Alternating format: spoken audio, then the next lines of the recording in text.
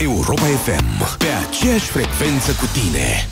Suntem împreună în uh, misiunea verde la Europa FM și uh, o știre ne-a atras atenția recent, una care ar putea face lumea în care trăim ceva mai bună și foarte simplu. Asta cu ajutorul fiecăruia dintre noi, pentru că Napolact își uh, schimbă ambalajul pentru a fi mai prietenos cu mediul. Concret, cum se întâmplă asta? Napolact a lansat uh, la începutul acestei uh, toamne un nou pet mai prietenos cu mediul pentru formatul on the go 330 de grame Petul este acum transparent și în plus s-au înlocuit vechile etichete fabricate din PVC cu unele noi, mult mai prietenoase cu mediul, din material PET. Dar asta nu este tot. Fix ca în reclamele bune, urmează ceva și mai tare, pentru că este o promisiune pe care Napolact o face până în anul 2025.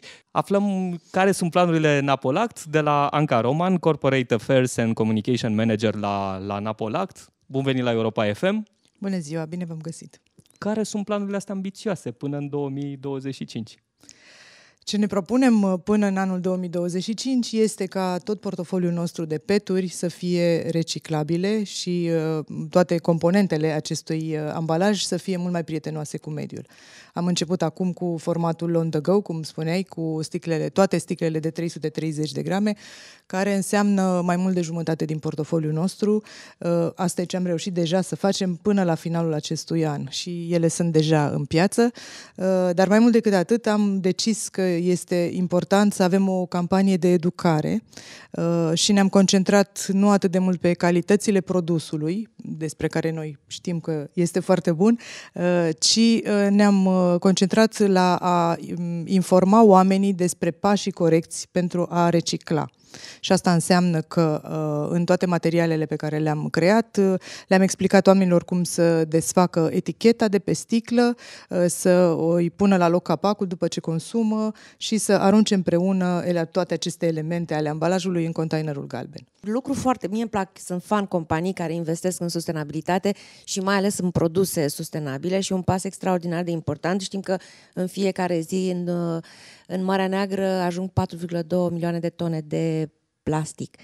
Uh, înțeleg așa că astea sunt doar cele de sticlusele de iaurt, că urmează și sticlele de lapte și toate celelalte ambalaje. Și o campanie pe care vreți să o faceți pentru educarea oamenilor. Însă v-ați gândit să învățați și să nu mai arunce, pentru că, ok, plasticul pe care voi acum îl folosiți este reciclabil, ceea ce este minunat, dar ce te faci cu cei care au obișnuința să arunce în continuare uh, sticla de plastic ori pe autostradă, ori la râu, că așa ne-am învățat.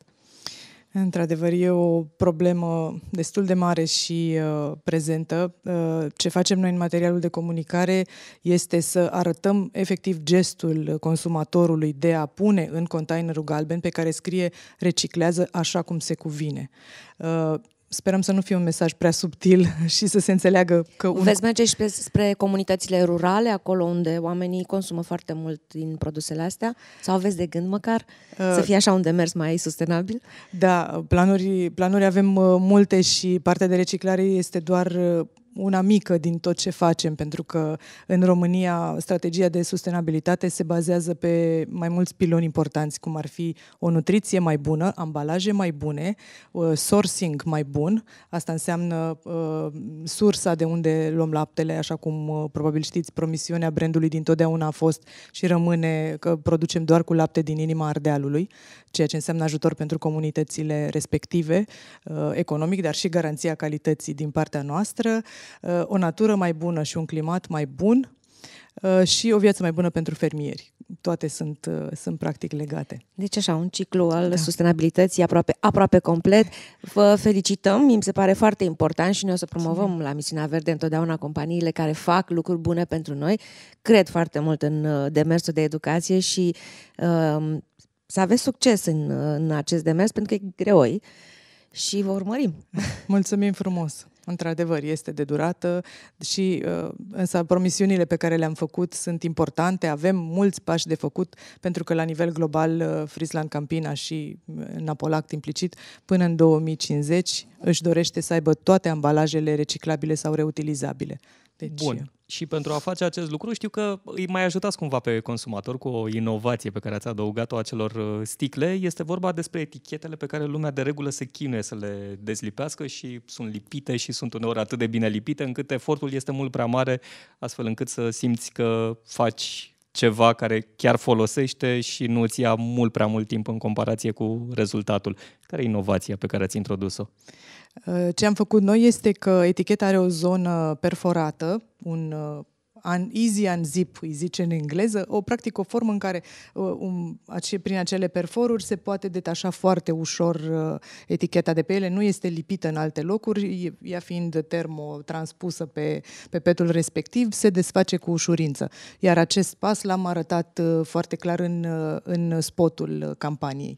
Anca, concret, care sunt pașii, să-i recapitulăm, pe care trebuie să-i urmăm ca să reciclăm corect ambalajele? Uh, ce îndemnăm noi, îndemnăm noi oamenii să facă este să consume produsul delicios, uh, formatul on the go de 330, să îi scoată eticheta folosind acest, uh, această zonă cu perfor care ajută la dezlipirea ușoară, după care să clătească dacă au cum petul, dar cu neapărat să pună la loc capacul și toate aceste elemente pet, etichetă și capac să le pună în containerul galben.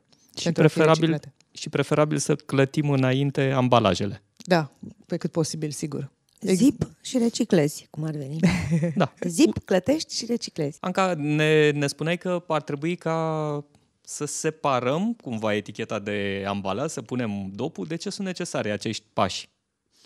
În momentul în care consumăm produsul, obținem practic trei elemente, să zic așa. Petul, transparent, 100% reciclabil, folia și capacul prietenoase cu mediul.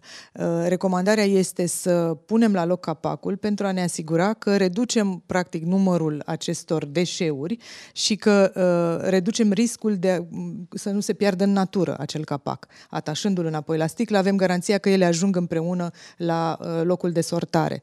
Iar din același motiv se recomandă și dezlipirea foliei, pentru ca la sortare ele să poată fi identificate ușor ca ce tip de deșeu sunt, ca apoi să meargă mai departe în procesul de reciclare. Dar, practic, toate trei sunt reciclabile, important ca ele să existe, doar că trebuie detașate și uh, da, pentru ușurarea procesului. Ca să fie mai ușor în procesul de reciclare. Așa este. Ușor de reținut. Din partea echipei Europa FM aveți medalia verde pentru implicarea voastră Mulțumim și mai ales frumos. pentru planul ambițios ca până în anul 2025 100% din peturile Napolac să fie concepute pentru reciclare sau reutilizare.